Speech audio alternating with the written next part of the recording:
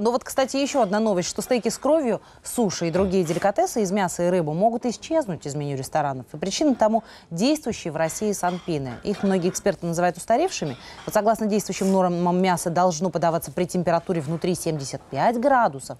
Но, однако, сегодня стейки в современных ресторанах готовятся по стандартам европейской, Европейской кухни, да. Но температура мяса внутри, в зависимости от уровня прожарки, варьируется от 45 до 60 градусов.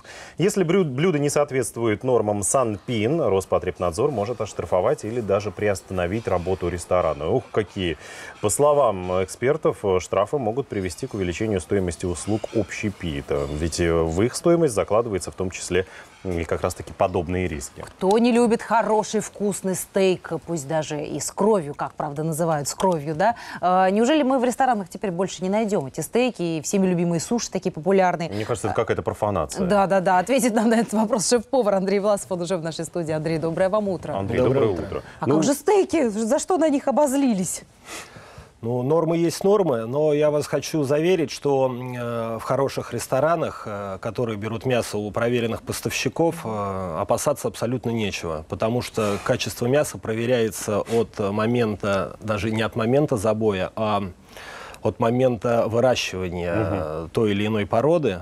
Специально выведена была порода Black Angus, которая устойчива ко многим болезням и абсолютно безопасна. Вот Ну, поэтому в меню популярно, ресторана как раз очень э, часто пишут, что это какая-нибудь как стейк королевской, э, какая-то вырезка там, да, откуда-то из Америки или еще У откуда-то. нас часто Ну, из Брянской да. области. Из теперь. Брянской области, Да, да, кстати, не да. видел ни разу. Нет? Нет. В магазинах продают. Нет, почему? Есть и из Брянска, и это большие проверенные поставщики, которые гарантируют качество. Если что-то в партии э, пошло не так, какие-то анализы показали какие-то минимальные даже отклонения, бракуется вся партия и снимается с реализации. Слушайте, ну а что касается этих Почему санпинов, тогда? Да, давайте про санпинов запереживали. поговорим. Откуда вообще родилась эта идея сейчас ужесточать э, какие-то... Проверки устраивать дополнительные. Ну, правила есть правила, их никто не отменял. Так, Все мы может, просто санпины пересмотреть? Конечно, давно уже пора, потому что весь общепит еще живет по старым сампинам, там, Это начиная такие от... советские еще? Советские, да? конечно. Начиная от э, планировок помещений, там, необходимый метраж кухни по отношению к залу. Конечно же, сейчас соблюсти все нормы сампинов практически нереально. Слушайте, ну вот как раз прошла информация, буквально сегодня утром читал о том, что как раз э, э, в Государственной Думе задумались об отмене советских ГОСТов даже. Может быть, как раз до санпинов дойдем? Может быть, я, как э, повар, я очень бы, да? надеюсь. Да, да, да, на что менять надеюсь. вопрос только, кто это будет контролировать.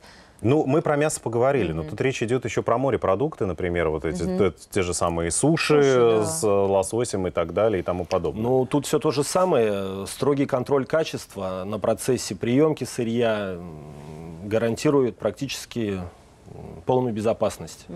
Весь мир ест, не жалуется. Никто не боится. Ну, а вот у нас тоже была новость про то, что э, проверят котлеты да, в ресторанах быстрого Да, кстати, питания. что Котлет никогда не непонятно, что там Ну, внутри. в ресторанах быстрого питания, если говорить о Макдональдсе, ну там все у них э, прожарено, но есть э, какие-то мини-бургерные. Сейчас очень много. Это же самый да. простой вариант, да? И то же самое, там, да, там тоже есть у котлеты прожарка, то есть можно заказать гамбургер э, с прожаркой котлеты медиум.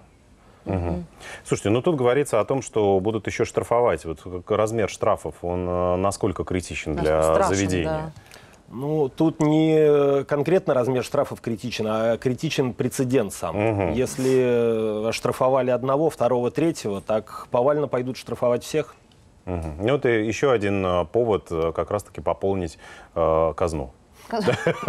Надеемся, не отберут у нас мясо и котлеты, что называется. Вот чего. Ну, то есть подвести черту можно сказать одно, да, что не стоит беспокоиться ни за мясо, ни за морепродукты, которые как раз поступают крупным э, рестораторам. Абсолютно, абсолютно верно.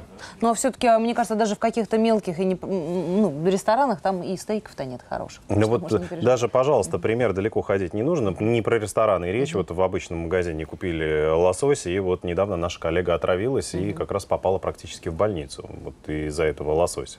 То есть проверить, ну, качество невозможно даже у крупных ритейлеров. То есть вопрос доверия, да, доверяешь или нет? Ну, наверное, да. Наверное, да. Спасибо, ладно. Надеемся, будем есть, что ели, и только лучше. В гостях у нас был шеф-повар Андрей Власов. Спасибо вам большое. Спасибо большое.